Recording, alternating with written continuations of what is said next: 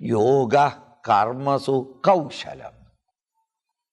Yoga, in essence, is your dexterity in action. Kaushala, kushalata, efficiency, dexterity in all your activities is yoga. Whatever that you are doing in life, learn to put your mind where your hand is working. The lady is cooking in the kitchen. Today in breakfast,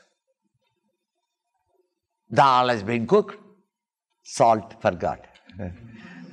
Swamiji, I am very sorry. What happened?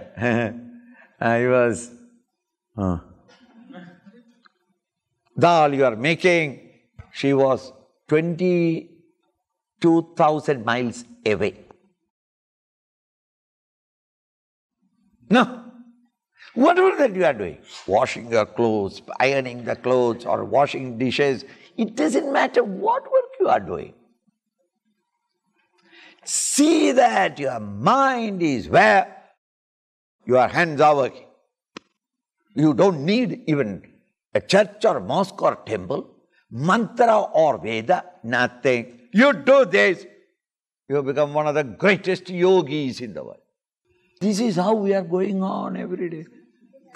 Keep your mind where your hands are working.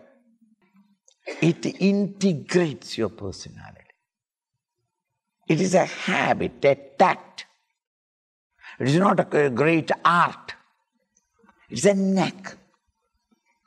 And once you start doing it consciously for some time, you shall find the rewarding results in your performance. Yoga karmasu kaushala.